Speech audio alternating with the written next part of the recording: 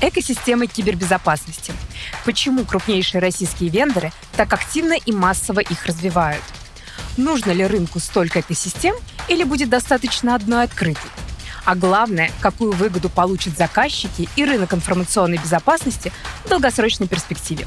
Узнаем об этом 22 ноября в прямом эфире I'm Live, а также расскажем, как выбрать оптимальную экосистему под ваши задачи.